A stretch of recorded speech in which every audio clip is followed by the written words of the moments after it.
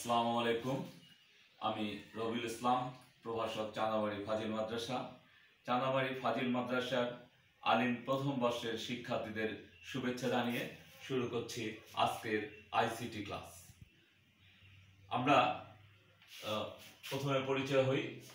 আমাদের সাবজেক্টের নাম হচ্ছে ICT, information, communication and technology. এর পূর্ণমান পূর্ণ মার্কস ডিস্ট্রিবিউশন করেছি আমরা। এর পূর্ণমান হচ্ছে একশত। এমসিকিউ পঁচিশ প্র্যাকটিক্যাল পঁচিশ ক্রিয়েটিভ কোশ্চিন অর্থাৎ সৃজনশীল প্রশ্ন হবে পঞ্চাশ মার্কসের তাহলে পঞ্চাশ প্র্যাকটিক্যাল পঁচিশ এমসিকিউ পঁচিশ। আবারও বলছি ক্রিয়েটিভ কোশ্চিন অর্থাৎ সৃজনশীল প্রশ্ন হবে পঞ্চাশ মার্কসের প্র্যাকটিক্যাল অর্থাৎ ব্যবহারিক পরীক্ষা হবে পঞ্চাশ মার্কসের এবং এমসিকিউ যেটাকে আমরা বলছি বহু নির্বাচনী প্রশ্ন, সেই বহু নির্বাচনী প্রশ্ন হবে পঁচিশ মার্কসের এই সর্বসাকুল্যে আইসিটি বিষয়টি একশো মার্কসের পরীক্ষা তোমাদেরকে দিতে হবে। এখানে টোটাল সাবজেক্টে চ্যাপ্টার আছে, অর্থাৎ অধ্যায় রয়েছে ছয়টি। ছয়টি। প্রথমটি হচ্ছে আইসিটি অর্থাৎ ইনফরমেশন অ্যান্ড কমিউনিকেশন টেকনোলজি বাংলায় বলছি আমরা তথ্য ও যোগাযোগ প্রযুক্তি। এবং এর সাথে রয়েছে বাংলাদেশ এবং গ্লোবাল কন্টেন্ট, অর্থাৎ বিশ্ব প্রেক্ষিত তথ্য ও যোগাযোগ প্রযুক্তি বাংলাদেশ ও বিশ্ব প্রেক্ষিত ইংলিশে আমরা বলব ICT Bangladesh and global content দ্বিতীয় অধ্যায় রয়েছে data communic data communication and computer networking তিন নম্বরে রয়ে- তিন নম্বর তৃতীয় অধ্যায়ে রয়েছে নাম্বার সিস্টেম অর্থাৎ সংখ্যা পদ্ধতি। চতুর্থ অধ্যায়ে রয়েছে ওয়েব ডিজাইন অ্যান্ড এইচটিএমএল পঞ্চম অধ্যায়ে রয়েছে প্রোগ্রামিং ল্যাঙ্গুয়েজ অর্থাৎ প্রোগ্রামের ভাষা। ষষ্ঠ অধ্যায়। ষষ্ঠ অধ্যায় অধ্যায় রয়েছে ডেটাবেস অ্যান্ড ম্যানেজমেন্ট সিস্টেম এই ছয়টি অধ্যায় নিয়ে আমরা আলোচনা করব টোটাল একশো মার্কসের এবং আমাদের সাবজেক্ট হচ্ছে ICT information and communication technology শিক্ষার্থী বন্ধুরা, তোমরা আবারও লক্ষ্য করো, আমাদের এই যে আইসিটি এটি কিন্তু বাধ্যতামূলক। অর্থাৎ বাংলা ইংরেজি যেমন আবশ্যিক, ঠিক তদ্রুপ এই আইসিটি সাবজেক্টটি একশো মার্কসের জন্য সরকার কর্তৃক এবং বোর্ড কর্তৃক নির্ধারিত। এটি কোনো অপশনাল নয়, এটি বাধ্যতামূলক, এটি পরীক্ষা দিতেই হবে।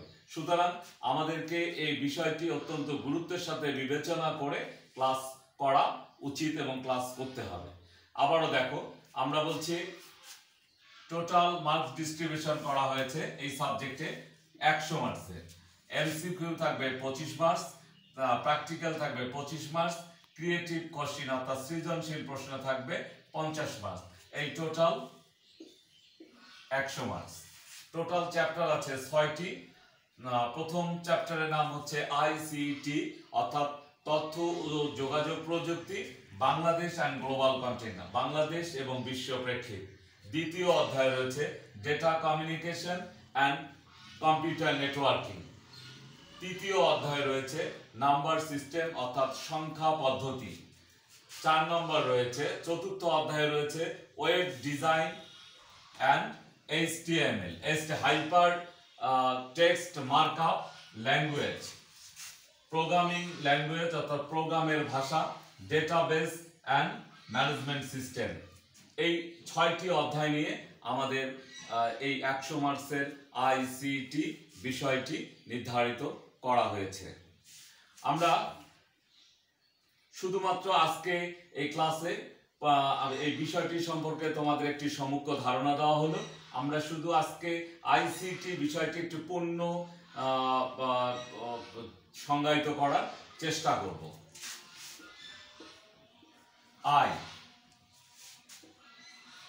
সি টি এটি আমরা সবাই জানি আইতে ইনফরমেশন সিতে কমিউনিকেশন টিতে টেকনোলজি ইনফরমেশন অর্থাৎ তথ্য। তথ্য বলতে আমরা কি বুঝি বা তথ্য কাকে বলে? তথ্য হচ্ছে উপায়ত্তকে সুসজ্জিতভাবে উপস্থাপন করার যে প্রক্রিয়া, তথ্যকে যখন সরি উপায়ত্তকে যখন সুসজ্জিতভাবে উপস্থাপন করা হয়, সেই সেই উপস্থাপনকেই আসলে বৈজ্ঞানিক পরিভাষায় বলা হচ্ছে তথ্য। উপায়ত্ত কি? উপায়ত্ত হচ্ছে মানুষ যা বলে, লিখে, পড়ে বা অভিনয়ের মাধ্যমে কিংবা সাংকেতিক চিহ্ন ব্যবহার করে মনের ভাব প্রকাশ করে।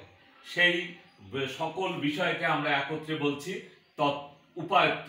আর এই উপায়ত্ত যখন সুসজ্জিতভাবে প্রকাশ কখন, যখন উপস্থাপন করা হয়, সেই উপস্থাপনকেই প্রকৃতপক্ষে আমরা বলছি যে বৈজ্ঞানিক পরিভাষায় এটাকে বলা হচ্ছে তথ্য।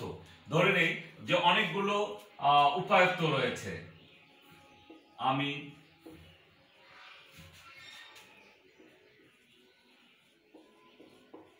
স্কুলে যাব। এই তিনটি শব্দ যখন আলাদা আলাদা থাকবে, এগুলো উপায়ত্ত।